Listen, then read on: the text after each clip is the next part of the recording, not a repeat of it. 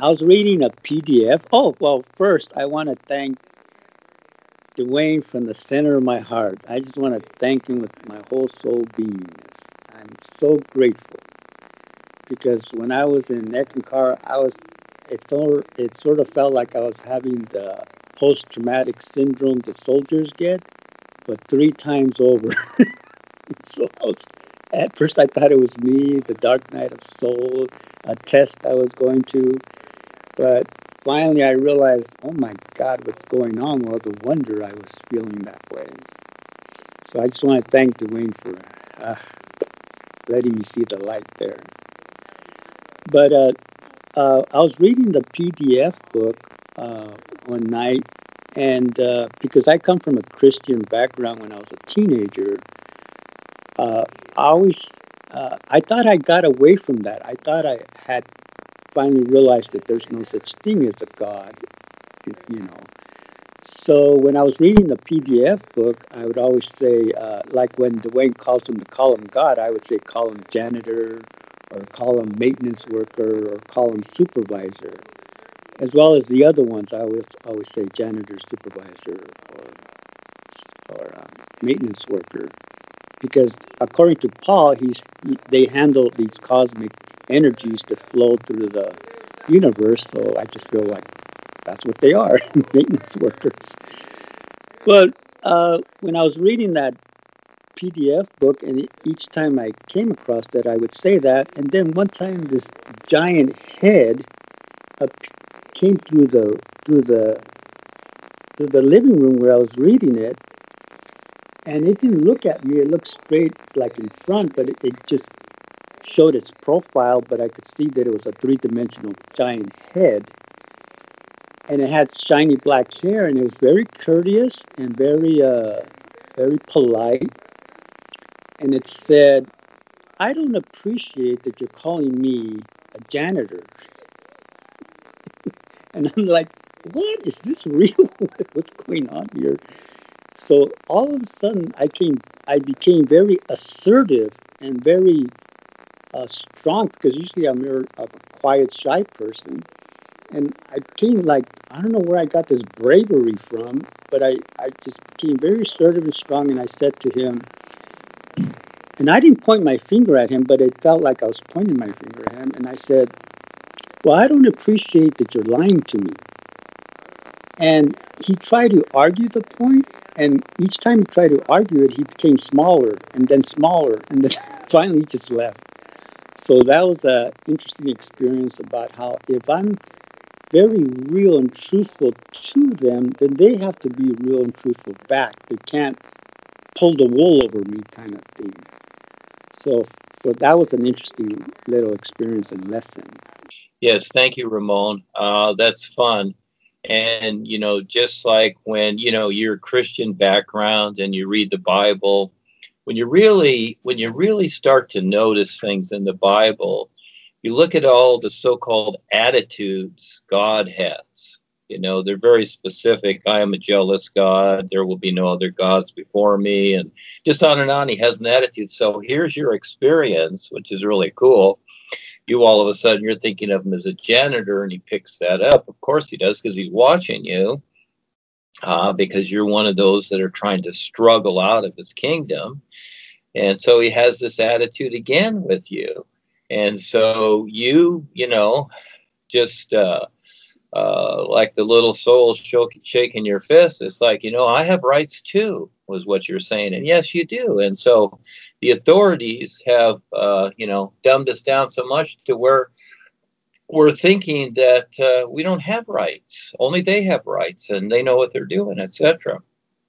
And so, again, as he's arguing with you and trying to justify it, again, compare it to the sun. Does the sun do that? No. The sun's just wonderful, isn't it?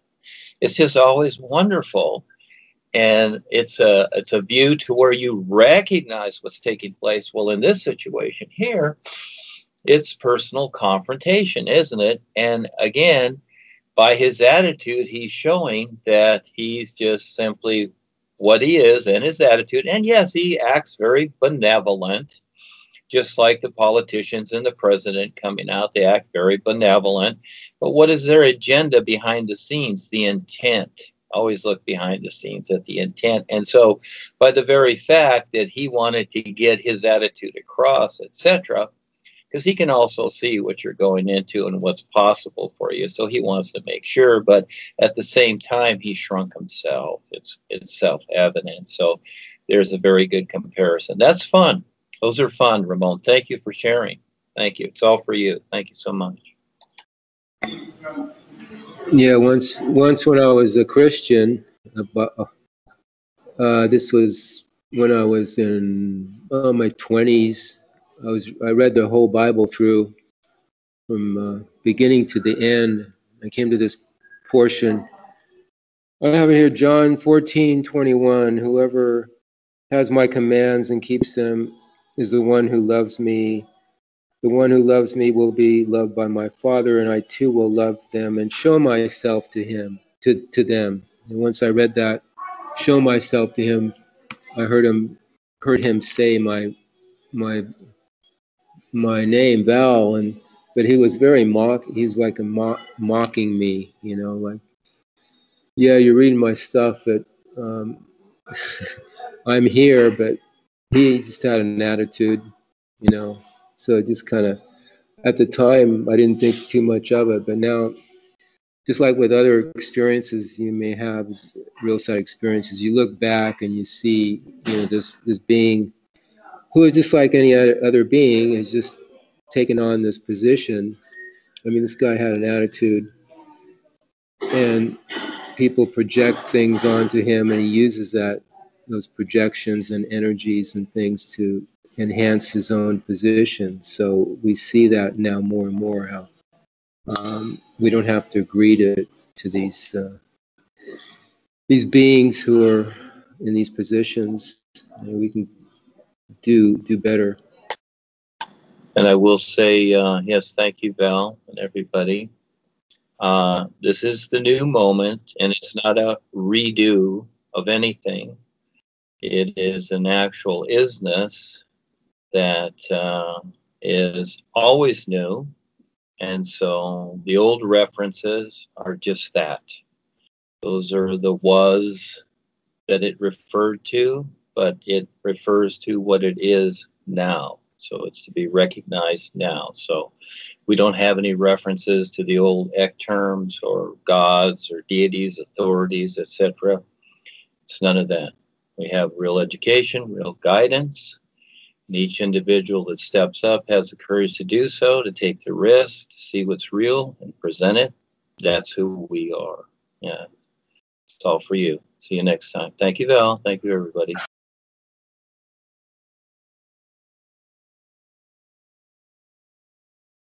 This planet Earth needs a lot of help from all of us right now.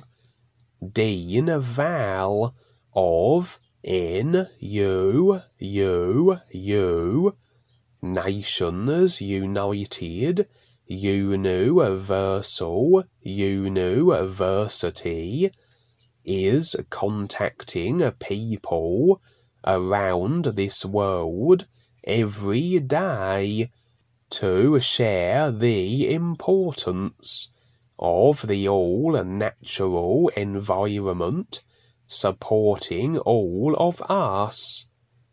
Dean Val and Duane Lee Heppner.org 501c3 have created CAN Community Action Network to help all communities become aware of how to be self sufficient with permaculture and food and rainforests. We are always looking for real people to step up who want to learn what life on this earth is all about. We will be leasing large portions of land to create something wonderful for all communities everywhere. Contact Val Vitols on Skype and Facebook to get involved with what we all can do now or through the phone number provided or the website in the links. Duane the Great Writer dot net. Join us for weekly environment awareness Skypes every Sunday at 11 p.m. Pacific Standard Time.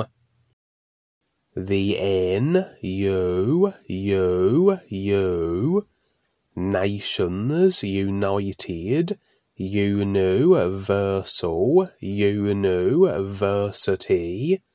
is dedicated to supporting and providing a real purpose and real awareness with the all natural environment supporting all of us. First comes this earth with food and rainforests, and to protect what is still here. For those who have the awareness to see what is actually taking place here with all the natural devastation, which is also purposely planned by world controllers, you now have a real opportunity to step up and do something with those who also care about your planet Earth. Duane Lee Heppner has created the NUUU Nations United.